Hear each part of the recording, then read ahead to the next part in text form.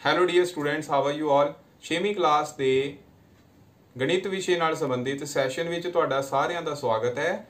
ਜਿਵੇਂ ਕਿ ਤੁਸੀਂ ਸਾਰੇ ਜਾਣਦੇ ਹੋ, ਅਸੀਂ ਚੈਪਟਰ ਨੰਬਰ 1 ਜਿਸ ਦਾ ਨਾਮ ਹੈ ਆਪਣੀਆਂ ਸੰਖਿਆਵਾਂ ਨੂੰ ਜਾਣਨਾ ਮੀਨਸ ਨੋਇੰਗ ਆਰ ਨੰਬਰ ਇਹ ਚੈਪਟਰ ਕਰ ਰਹੇ ਹਾਂ। ਜਿਸ ਦੇ ਤਹਿਤ ਅਸੀਂ ਐਸਟੀਮੇਸ਼ਨ ਟੌਪਿਕ ਮੀਨਸ ਨਿਕਟੀਕਰਨ ਟੌਪਿਕ ਜੋ ਹੈ, ਉਹ ਸਟਾਰਟ ਕੀਤਾ ਹੋਇਆ। ਉਸ ਦੇ ਉਸ ਨੂੰ ਉਸ ਟੌਪਿਕ ਨੂੰ ਅਸੀਂ ਕੰਟੀਨਿਊ ਕਰਦੇ ਹੋਏ ਕੁਝ ਐਗਜ਼ਾਮਪਲਸ ਹੋਰ ਕਰਾਂਗੇ। ਆਓ ਅਸਾਈਨਮੈਂਟ ਨੰਬਰ 63 ਕਰਦੇ ਹਾਂ ਅੱਜ। ਇਸ ਅਸਾਈਨਮੈਂਟ ਨੂੰ ਕਰਨ ਤੋਂ ਪਹਿਲਾਂ ਮੈਂ ਤੁਹਾਨੂੰ ਦੁਬਾਰਾ ਐਸਟੀਮੇਸ਼ਨ ਮੀਨਸ ਨਿਕਟੀਕਰਨ ਬਾਰੇ ਦੱਸਣਾ ਚਾਹੁੰਦਾ।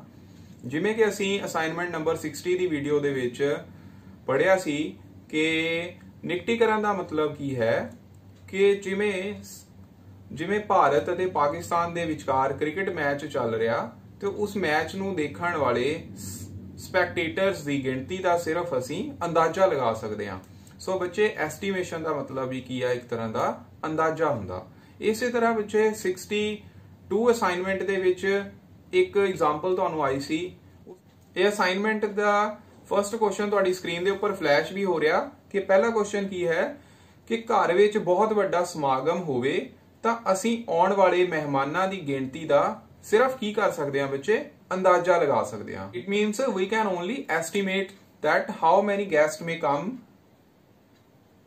ਤੇ ਅੱਜ ਅਸੀਂ ਕਰਨੀ ਹੈ ਅਸਾਈਨਮੈਂਟ ਨੰਬਰ 63 ਅਸੀਂ ਕਿਸੇ ਸੰਖਿਆ ਦਾ ਅਸੀਂ ਕਿਸੇ ਸੰਖਿਆ ਦਾ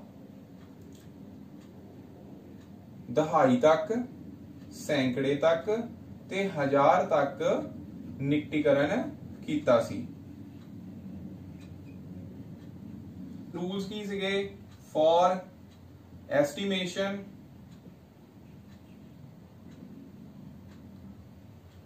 ਉਹਦੇ ਰੂਲਸ ਕੀ ਸੀ? ਕਿ ਜਿਹੜੇ ਵੀ ਅੰਕ ਦਾ, ਮੰਨ ਲਓ ਅਸੀਂ ਦਹਾਈ ਤੱਕ ਐਸਟੀਮੇਸ਼ਨ ਕਰਨੀ ਹੈ, ਤਾਂ ਅਸੀਂ ਇਕਾਈ ਅੰਕ ਦੇਖਣਾ ਹੈ। ਜੇ ਅਸੀਂ ਸੈਂਕੜੇ ਤੱਕ ਮੀਨਸ 100 ਪਲੇਸ ਤੱਕ ਐਸਟੀਮੇਸ਼ਨ ਕਰਨੀ ਹੈ। ਮੀਨਸ ਨਿਕਟੀਕਰਨ ਕਰਨਾ ਹੈ। ਤਾਂ ਅਸੀਂ ਦਹਾਈ ਅੰਕ ਦੇਖਣਾ ਹੈ। ਔਰ ਅਗਰ ਅਸੀਂ ਹਜ਼ਾਰ ਤੱਕ ਮੀਨਸ 1000 ਤੱਕ ਐਸਟੀਮੇਸ਼ਨ ਕਰਨੀ ਹੈ, ਤਾਂ ਅਸੀਂ ਕਿਹੜਾ ਅੰਕ ਦੇਖਣਾ ਹੈ? ਸੈਂਕੜੇ ਵਾਲਾ ਮੀਨਸ 100th ਪਲੇਸ ਵਾਲਾ ਅੰਕ ਦੇਖਣਾ ਹੈ। ਇਹ ਬੱਚੇ ਮੇਨ ਚੀਜ਼ਾਂ ਸੀ।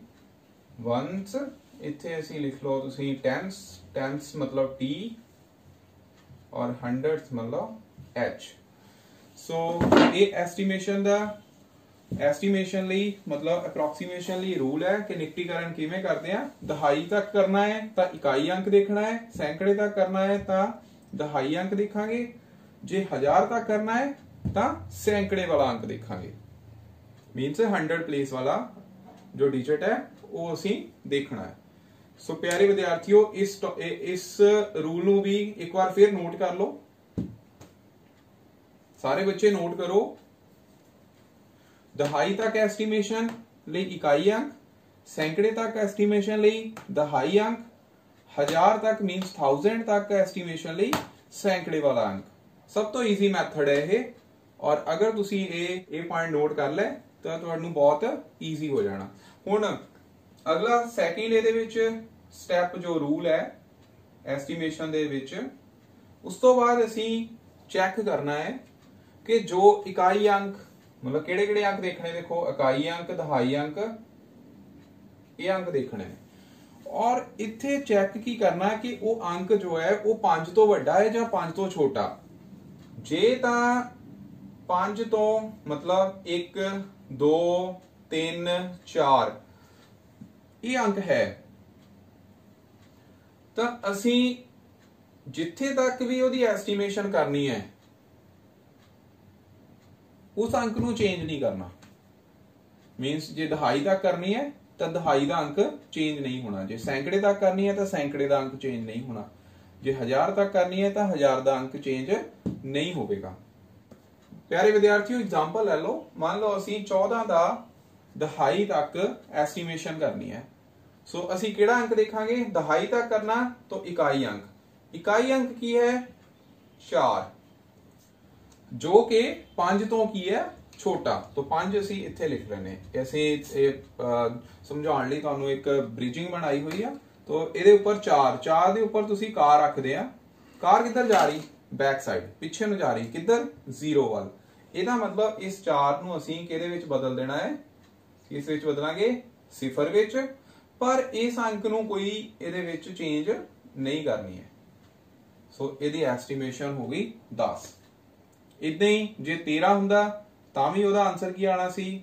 10 ਜੇ 12 ਅੰਕ ਹੁੰਦਾ, ਮਤਲਬ ਜੇ 12 ਡਿਜਿਟ ਜੇ 12 ਸੰਖਿਆ ਹੁੰਦੀ, ਤਾਂ ਵੀ ਉਹਦਾ, ਉਹਦੀ ਐਸਟੀਮੇਸ਼ਨ ਕੀ ਆਣੀ ਸੀ? 10 ਠੀਕ ਹੈ ਪਿਆਰੇ ਵਿਦਿਆਰਥੀਓ? ਸੋ ਇਸ ਨੂੰ ਧਿਆਨ ਨਾਲ ਸਮਝੋ। ਉਸ ਤੋਂ ਬਾਅਦ ਜੇਕਰ ਇਹੀ ਸੰਖਿਆ ਹੁਣ, ਇਹੀ ਸੰਖਿਆ ਹੁੰਦੀ 16 ਉਹ 16 ਹੈ ਹੁਣ 6 ਇਸ ਸਾਈਡ ਹੈ। 5 ਤੋਂ ਵੱਡਾ ਹੋ ਗਿਆ। ਜਦੋਂ 16 ਇੱਥੇ ਆ, ਉਸ ਤੋਂ ਬਾਅਦ ਅਗਲਾ ਅੰਕ ਕੀ ਆਏਗਾ? 7 ਫਿਰ 8 ਫਿਰ 9 ਤੇ ਫਿਰ 10 10 ਦੇ ਵਿੱਚ ਦੋ ਅੰਕ ਆ ਗਏ। ਮਤਲਬ ਇੱਕ ਜੋ ਹੈ ਵੱਧ ਗਿਆ। ਤੋਂ ਇੱਕ ਵੱਧ ਰਿਹਾ, ਉਹਨੂੰ ਅਸੀਂ ਅਗਲੇ ਅੰਕ ਦੇ ਵਿੱਚ ਜੋੜ ਦੇਣਾ ਸੋ ਹੁਣ ਦੇਖੋ 6 ਤੋਂ 6 ਜੋ ਹੈ, ਉਹ 5 ਤੋਂ ਵੱਡਾ ਹੈ। 5 ਤੋਂ ਵੱਡਾ ਹੈ ਤਾਂ ਇਸ ਦਾ ਦਹਾਈ ਤੱਕ ਨਿਕਟੀਕਰਨ ਕੀ ਆਣਾ? ਇਹਨੂੰ ਸਿਫਰ ਕਰ ਦੇਣਾ। ਬਿਕੋਜ਼ 6 ਤੇ ਜੇਕਰ ਕਾਰ ਰੱਖਦੇ ਆ ਤਾਂ ਉਹ ਕਿਸ ਸਾਈਡ ਨੂੰ ਜਾ ਰਹੀ ਹੈ? 10 ਵੱਲ। ਤੇ ਇਸ ਦਹਾਈ ਅੰਕ ਵਿੱਚ ਹੁਣ ਕੀ ਹੋਣਾ? ਇੱਕ ਐਡ ਤਾਂ ਇਹਦਾ ਆਨਸਰ ਕੀ ਆ ਜਾਣਾ? B ਇਹਦਾ ਆਨਸਰ ਕੀ ਆ ਜਾਏਗਾ? B ਤਾਂ 16 ਦਾ ਨਿਕਟੀਕਰਨ ਕੀ ਆ? B ਆ। ਗੱਲ ਨੂੰ ਸਮਝੋ 6 ਇੱਥੇ ਸੀ ਔਰ 6 ਕਿੱਧਰ ਜਾ ਰਿਹਾ? 10 ਵੱਲ। 10 ਵਿੱਚ ਦੋ ਅੰਕ ਆ ਗਏ। ਮਤਲਬ ਇਕਾਈ ਵੀ ਔਰ ਦਹਾਈ ਵੀ। ਤੇ ਦਹਾਈ ਜਿਹੜਾ ਆ, ਉਹ ਇੱਕ ਵੱਧ ਜਾਣਾ ਹੈ। ਦਹਾਈ ਅੰਕ ਇੱਕ ਇਨਕਰੀਜ਼ ਕਰ ਜੂਗਾ। ਤਾਂ 16 ਤੋਂ ਬਣ ਗਿਆ B ਪਰ ਜੇ ਹੀ 14 ਸੀ, ਤਾਂ 14 ਦਾ ਨਿਕਟੀਕਰਨ ਕੀ ਆਇਆ ਸੀ? 10 ਕਿਉਂਕਿ 14 ਤੇ ਜੇ ਤੁਸੀਂ ਕਾਰ ਰੱਖਦੇ ਆ, ਤਾਂ ਫਿਰ ਉਹ ਪਿੱਛੇ ਨੂੰ ਆ ਰਹੀ ਹੈ। ਠੀਕ ਹੈ? ਸੋ ਮੈਨੂੰ ਲੱਗਦਾ ਤੁਹਾਨੂੰ ਇਹ ਸਾਰਾ ਟੌਪਿਕ ਹੁਣ ਸਮਝ ਆ ਗਿਆ ਹੋਵੇਗਾ। ਤਾਂ ਹੁਣ ਅਸਾਈਨਮੈਂਟ ਵੱਲ ਵਧਦੇ ਆ ਅਸਾਈਨਮੈਂਟ ਦੇ ਵਿੱਚ ਬੱਚੇ, ਸਭ ਤੋਂ ਪਹਿਲਾਂ ਕੁਝ ਜਨਰਲਾਈਜੇਸ਼ਨਸ ਆ। ਉਹਨੂੰ ਦੇਖੋ ਹੁਣ। ਅਸਾਈਨਮੈਂਟ ਵਿੱਚ ਪਹਿਲਾ ਕੁਐਸਚਨ ਹੈ ਕਿ 54 ਦਾ ਮਤਲਬ 54 ਦਾ ਦਹਾਈ ਤੱਕ ਨਿਕਟੀਕਰਨ ਕਰੋ। Means estimate the number to nearest tens. ਦਹਾਈ ਦਾ ਮਤਲਬ ਕਹਿੰਦਾ tens. ਔਰ ਨਿਕਟੀਕਰਨ ਮੀਨਸ ਐਸਟੀਮੇਸ਼ਨ 10th ਪੋਜੀਸ਼ਨ ਤੱਕ ਅਸੀਂ ਇਹਦੀ, ਇਹਦਾ ਨਿਕਟੀਕਰਨ ਕਰਨਾ। ਹੁਣ ਨੰਬਰ ਕੀ ਆ? 54 ਸੋ 54 ਦੇ ਵਿੱਚ ਦਹਾਈ ਤੱਕ ਕਰਨਾ ਹੈ। ਤੁਹਾਨੂੰ ਮੈਂ ਪਹਿਲਾਂ ਵੀ ਦੱਸ ਕੇ ਹਟਿਆ, ਜੇ ਦਹਾਈ ਤੱਕ ਕਰਨਾ ਹੈ, ਤਾਂ ਉਸ ਤੋਂ ਪਹਿਲਾ ਅੰਕ ਦੇਖਣਾ ਜੋ ਕੀ ਹੈ? ਇਕਾਈ ਅੰਕ। ਮੀਨਸ ਵਨਸ ਪਲੇਸ 10th ਤੱਕ ਕਰਨਾ ਹੈ। ਦੇਖਣੀ ਕਿਹੜੀ ਹੈ ਵਨਸ ਪਲੇਸ ਤੋਂ ਵਨਸ ਪਲੇਸ ਕੀ ਹੈ 4 ਅਗਰ 4 ਹੈ तो 4 ਕਿੱਧਰ ਹੈ 5 ਤੋਂ ਘੱਟ तो ਇਹ ਕਿੱਧਰ ਜਾ ਰਿਹਾ 0 ਵੱਲ ਇਹਦਾ ਮਤਲਬ ਇਹ 5 ਤੋਂ ਘਟ ਗਈ ਇਹਦਾ ਮਤਲਬ ਇਹਦੀ ਰਾਉਂਡ ਆਫ ਕੀ ਆ ਜਾਣੀ 4 ਦੀ ਜਗ੍ਹਾ 0 ਔਰ 5 ਐਜ਼ ਇਟ ਇਜ਼ तो ਇਹਦਾ ਆਨਸਰ ਆ ਗਿਆ 50 ਠੀਕ ਹੈ ਪਿਆਰੇ ਵਿਦਿਆਰਥੀਓ ਨੋਟ ਕਰੋ ਇਹਨੂੰ ਉਸ ਤੋਂ ਬਾਅਦ ਨੈਕਸਟ ਐਗਜ਼ਾਮਪਲ ਲੈਣੇ ਆ ਆਈ ਥਿੰਕ ਤੁਸੀਂ ਨੋਟ ਕਰ ਲਿਆ ਹੋਵੇਗਾ 54 ਦਾ ਨਿਕਟੀਕਰਨ ਕੀ ਆ ਗਿਆ?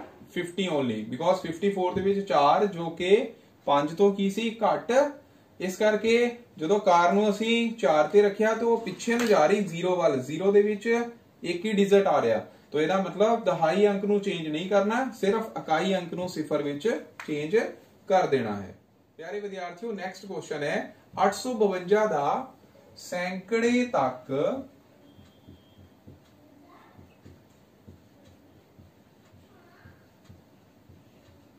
ਨਿਕਟੀਕਰਨ। ਸੈਂਕੜਾ ਮਤਲਬ 100 ਪਲੇਸ ਤੱਕ। ਠੀਕ ਹੈ 100 ਪਲੇਸ ਤੱਕ ਤੁਸੀਂ ਇਹਦੀ ਉਹਦਾ ਨਿਕਟੀਕਰਨ ਕਰਨਾ ਹੈ। 100 ਤੱਕ ਕਰਨਾ ਹੈ। ਇੱਥੇ ਬੱਚੇ ਅਸੀਂ ਇਦਾਂ ਕਰਦੇ ਹਾਂ, ਇੱਕ ਟੇਬਲ ਬਣਾ ਲੈਣੇ ਇੱਥੇ ਲਿਖ ਲਓ ਇਕਾਈ ਅੰਕ, ਇੱਥੇ ਲਿਖ ਲਓ ਦਹਾਈ ਅੰਕ, ਸੈਂਕੜਾ, ਤੇ ਇਹ ਬਣ ਗਿਆ 1000 means 1s place 10s place 100 place ਔਰ ਇਹ 1000 place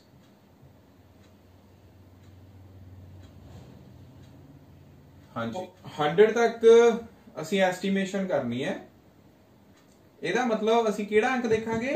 ਦਹਾਈ ਵਾਲਾ, ਉਹ ਤੋਂ ਇੱਕ ਪਹਿਲਾ। ਸੋ ਇਹਦੇ ਵਿੱਚ 852 ਸੰਖਿਆ ਦੇ ਵਿੱਚ ਦਹਾਈ ਅੰਕ ਕਿਹੜਾ? ਇਹ ਇਕਾਈ ਅੰਕ ਹੋ ਗਿਆ।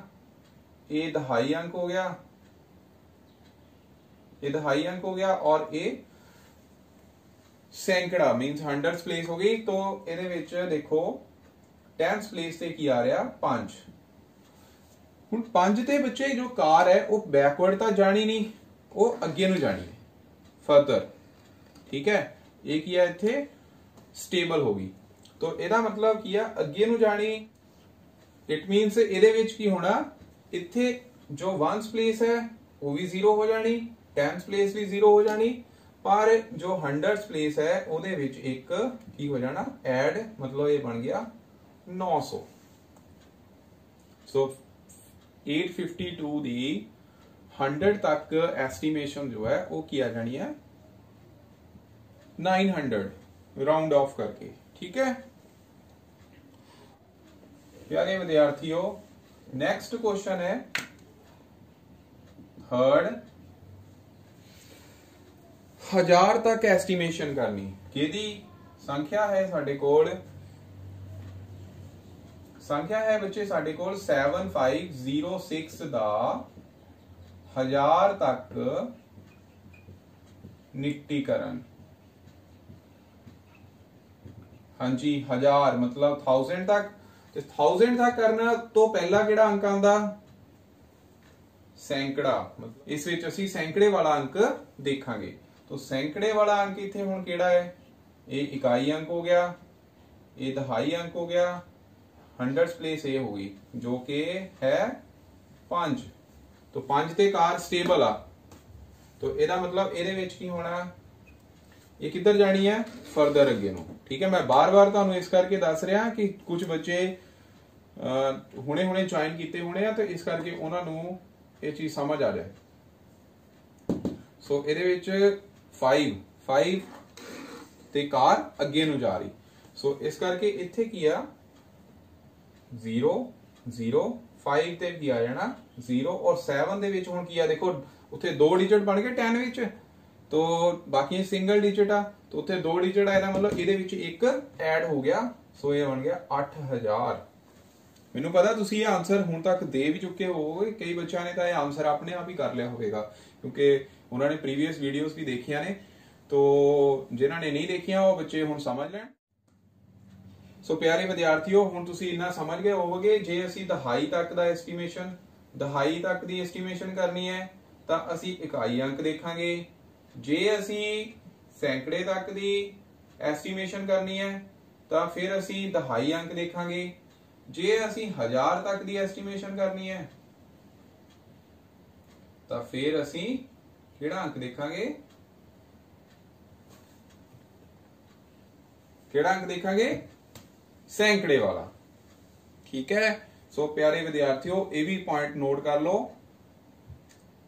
ਦਹਾਈ ਤੱਕ ਕਰਨੀ ਹੈ ਤਾਂ ਇਕਾਈ ਅੰਕ ਦੇਖਣਾ ਹੈ ਸੈਂਕੜੇ ਤੱਕ ਐਸਟੀਮੇਸ਼ਨ ਕਰਨੀ ਹੈ ਤਾਂ ਦਹਾਈ ਅੰਕ ਦੇਖਾਂਗੇ ਜੇ ਹਜ਼ਾਰ ਤੱਕ ਐਸਟੀਮੇਸ਼ਨ ਮੀਨਸ ਨਿਕਟੀਕਰਨ ਕਰਨਾ ਹੈ ਤਾਂ ਅਸੀਂ ਸੈਂਕੜੇ ਵਾਲਾ ਅੰਕ ਦੇਖਾਂਗੇ ਠੀਕ ਹੈ ਜੀ ਸੋ ਪਿਆਰੇ ਵਿਦਿਆਰਥੀਓ ਸੋ ਪਿਆਰੇ ਵਿਦਿਆਰਥੀਓ ਕੁਐਸਚਨ ਹੈ 750 ਪਲੱਸ 868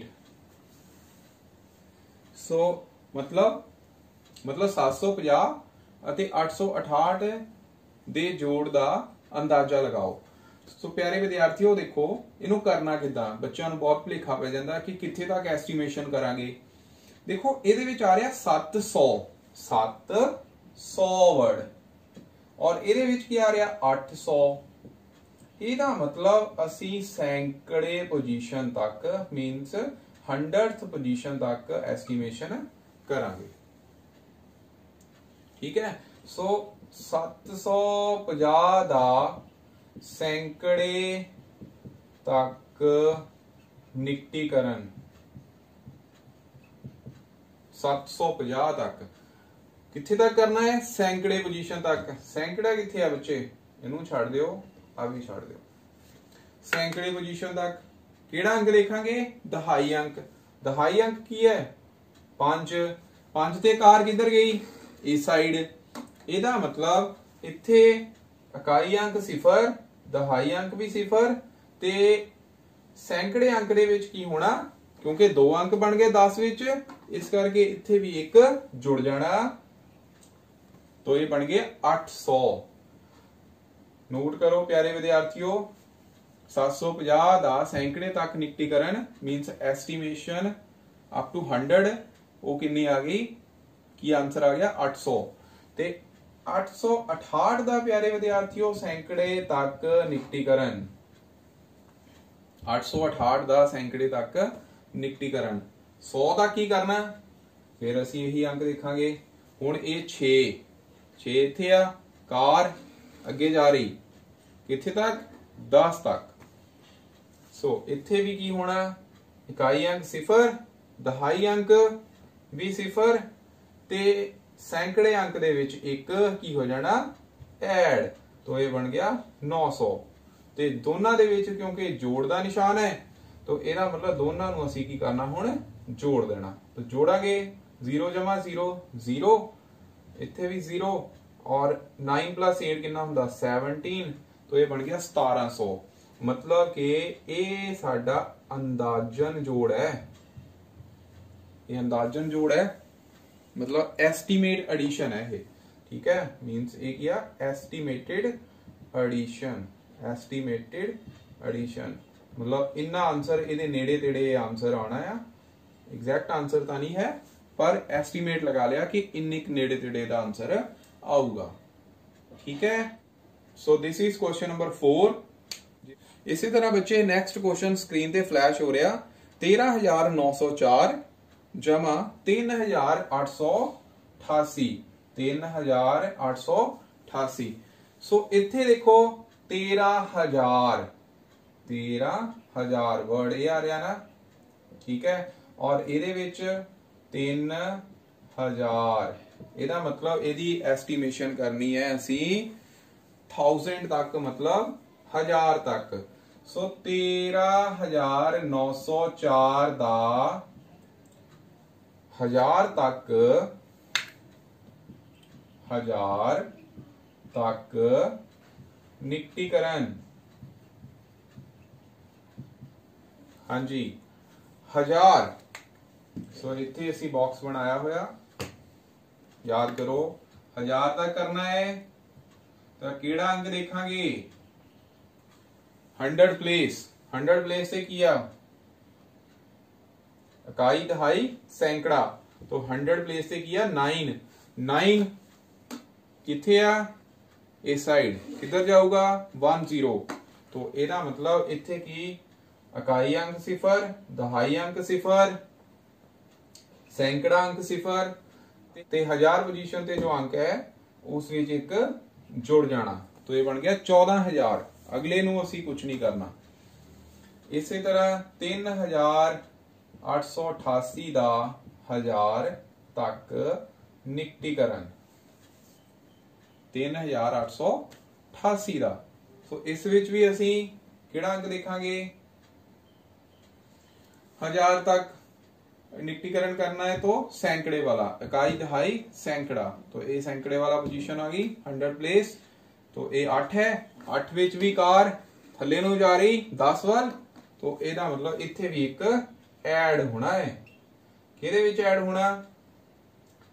ਹਜ਼ਾਰ ਵਾਲੀ ਪੋਜੀਸ਼ਨ ਤੇ। ਇਕਾਈ, ਦਹਾਈ, ਸੈਂਕੜਾ, ਹਜ਼ਾਰ। ਹਜ਼ਾਰ ਤੇ ਕੀ ਆ? 4 तो 4 ਵਿੱਚ ਇੱਕ ਜੋੜ ਦਿੱਤਾ ਤਾਂ ਬਣ ਗਿਆ 4000 ਹੁਣ ਦੋਨਾਂ ਦਾ ਜੋੜ ਕਰ ਲਓ। ਹੁਣ ਇਹ ਦੇਖੋ, ਜੋੜਨ ਦਾ ਤਰੀਕਾ ਵੀ ਕੀ ਆ? ਇੱਥੇ ਪੋਜੀਸ਼ਨ ਤੇ ਕੋਈ ਅੰਕ ਨਹੀਂ, ਇੱਥੇ ਕ੍ਰਾਸ ਲਗਾ ਦਿਓ ਤਾਂ ਕਿ ਤੁਹਾਨੂੰ ਗਲਤੀ ਨਾ ਲੱਗੇ। तो 0 जमा जीरो जीरो इतने भी जीरो जीरो चार जमा चार अठ तो ये बन गया अठारह हजार तो यदि एस्टिमेशन जो एडिशन है एस्टिमेटेड एडिशन वो की होएगी S T E S T I M A T E D estimated addition ये इक्वल आ गई अठारह हजार दे इक्वल तो एस्टिमेटेड आंसर है बच्चों ਨੋਟ ਕਰੋ ਇਹਨੂੰ ਆਪਣੀ ਕਾਪੀਜ਼ ਤੇ। ਸੋ ਵਿਦਿਆਰਥੀਓ, ਨੋਟ ਕਰ ਲਿਆ। ਲਾਸਟ ਵਿੱਚ, ਇਸ ਵਿੱਚ ਕੁਐਸਚਨ ਹੈ ਹੁਣ। ਵਿੱਚ ਅਸੀਂ ਮਲਟੀਪਲੀਕੇਸ਼ਨ ਦਾ ਕੁਐਸਚਨ ਕਰਨਾ ਕੁਐਸਚਨ ਨੰਬਰ 5 ਸੋ ਮਲਟੀਪਲੀਕੇਸ਼ਨ ਲਈ ਕੀ ਹੈ? ਕੁਐਸਚਨ ਸਕਰੀਨ ਤੇ ਫਲੈਸ਼ ਹੋ ਰਿਹਾ। 768 ਮਲਟੀਪਲਾਈ 151 ਇਹਦਾ ਵੀ ਐਸਟੀਮੇਟਡ ਰੂਲ ਰਾਹੀਂ ਕੀ ਹੈ ਅੰਦਾਜ਼ਾ ਲਗਾਉਣਾ ਸੋ 5th ਕੁਐਸਚਨ ਹੈ तो थर्ड पार्ट जितना ਤੁਹਾਡੀ ਅਸਾਈਨਮੈਂਟ ਚ ਲਿਖਿਆ ਹੈ ਉਸੇ ਤਰ੍ਹਾਂ ਮੈਂ ਲਿਖ ਦਿੱਤਾ तो ਇਸ ਵਿੱਚ ਦੇਖੋ 600 600 100 ਦੋਨਾਂ ਵਿੱਚ 100 100 ਆ ਰਿਹਾ ਤਾਂ ਇਹਦਾ ਮਤਲਬ ਇਹਨੂੰ ਅਸੀਂ 100 ਤੱਕ ਐਸਟੀਮੇਸ਼ਨ ਕਰਾਂਗੇ ਸੋ 678 ਦੀ ਸੈਂਕੜੇ ਤੱਕ ਨਿਕਟੀਕਰਨ।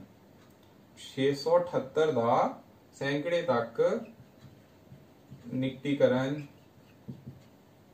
ਕੀ ਹੋਏਗਾ? 100 ਤੱਕ ਬੱਚੇ, ਦੇਖੋ 100 ਤੱਕ ਕਰਨਾ ਹੈ। ਤਾਂ 100 ਤੱਕ ਕਰਨਾ ਹੈ। ਤੇ ਅੰਕ ਕਿਹੜਾ ਦੇਖਾਂਗੇ? ਦਹਾਈ। ਦਹਾਈ ਅੰਕ ਕੀ ਹੈ? 7 7 ਤੇ ਕਾਰ ਅੱਗੇ ਜਾ ਰਹੀ। ਦੋ ਅੰਕਾਂ ਵੱਲ ਵਧ ਰਹੀ। ਇਹਦਾ ਮਤਲਬ ਇੱਥੇ ਸਿਫਰ, ਇੱਥੇ ਵੀ ਸਿਫਰ ਔਰ ਇਹਦੇ ਵਿੱਚ 6 ਵਿੱਚ ਇੱਕ ਜੁੜ ਜਾਣਾ ਹੈ। ਤਾਂ ਕੀ ਆਊਗਾ? 700 151 ਦਾ ਸੈਂਕੜੇ ਤੱਕ ਨਿਕਟੀਕਰਨ 151 ਦਾ ਸੈਂਕੜੇ ਤੱਕ ਨਿਕਟੀਕਰਨ ਇਹਦੇ ਵਿੱਚ ਵੀ ਕਿਹੜਾ ਅੰਕ ਦੇਖਾਂਗੇ? ਦਹਾਈ ਅੰਕ, ਜੋ ਕੀ ਹੈ? 5 5 ਤੇ ਕਾਰ ਸਟੇਬਲ, ਜਾਣੀ ਕਿੱਧਰ? ਪਿੱਛੇ ਨੂੰ, ਨਹੀਂ, ਅੱਗੇ ਨੂੰ। ਅੱਗੇ ਨੂੰ 10 ਵੱਲ तो ਇਹਦਾ ਮਤਲਬ ਇਕਾਈ ਅੰਕ 0 ਦਹਾਈ ਅੰਕ 0 ਤੇ ਸੈਂਕੜੇ ਅੰਕ ਦੇ ਵਿੱਚ ਇੱਕ ਜੁੜ ਜਾਣਾ। ਹੁਣ ਅਸੀਂ ਕੀ ਕਰਨੀ ਇੱਥੇ? ਮਲਟੀਪਲੀਕੇਸ਼ਨ ਦਾ ਅੰਦਾਜ਼ਾ ਲਗਾਣਾ ਤਾਂ ਮਲਟੀਪਲਾਈ ਕੀਤਾ। ਦੋ ਜ਼ੀਰੋਆਂ ਇਹਦੇ ਵਿੱਚ ਆ, ਦੋ ਇਹਦੇ ਵਿੱਚ ਆ। ਤਾਂ ਟੋਟਲ ਕਿੰਨੀਆਂ ਹੋ ਗਈਆਂ? 4 ਸੌਖਾ ਤਰੀਕਾ ਵਿੱਚ ਮਲਟੀਪਲਾਈ ਦਾ। ਤੇ ਸੱਤੂ ਦੁਣੀ 14 ਕਰ ਦੇਣਾ ਵਿੱਚ। ਸਿਫਰਾਂ ਤੇ ਐਜ਼ ਇਟ ਇਜ਼ ਲਿਖ ਦਿੱਤੀਆਂ ਸਿਫਰਾਂ ਦੀ ਕੋਈ ਸਿਫਰਾਂ ਨੂੰ ਮੀਨਸ ਜੋ ਜ਼ੀਰੋਜ਼ ਨੇ, ਉਹਨਾਂ ਨੂੰ ਅਸੀਂ ਐਜ਼ ਇਟ ਇਜ਼ ਲਿਖ ਸਕਦੇ ਹਾਂ ਮਤਲਬ 1 2 3 4 4 ਜ਼ੀਰੋਜ਼ ਇੱਥੇ ਆਣੀਆਂ ਆਣੀਆਂ ਤੇ 7 ਗੁਣਾ 2 ਕਿੰਨੇ ਹੁੰਦੇ? 14 ਤੋਂ ਇਹਦਾ ਅੰਦਾਜ਼ਨ ਗੁਣਾ ਜੋ ਹੈ, ਗੁਣਨਫਲ ਕੀ ਆ ਗਿਆ? 14 ਦੇ ਨਾਲ 4 ਸਿਫਰਾਂ, ਮਤਲਬ 1 ਲੱਖ 40 ਹਜ਼ਾਰ। ਸੋ ਪਿਆਰੇ ਵਿਦਿਆਰਥੀਓ, ਇਸ ਕੁਐਸਚਨ ਨੂੰ ਵੀ ਨੋਟ ਕਰੋ।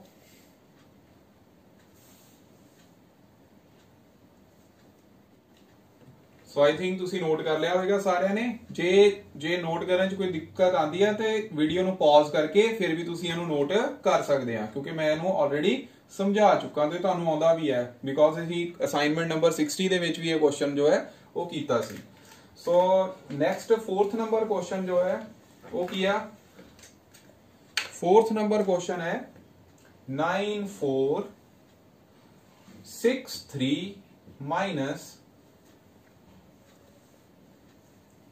minus five nine two ਮਤਲਬ 9436 ਮਾਈਨਸ 592 ਹੁਣ ਇੱਥੇ ਬੱਚੇ ਧਿਆਨ ਨਾਲ ਸੋਚਣਾ, ਕੀ ਕਰਾਂਗੇ? ਕਿੱਥੇ ਤੱਕ ਅਸੀਂ ਨਿਕਟੀਕਰਨ ਕਰਨਾ ਆ?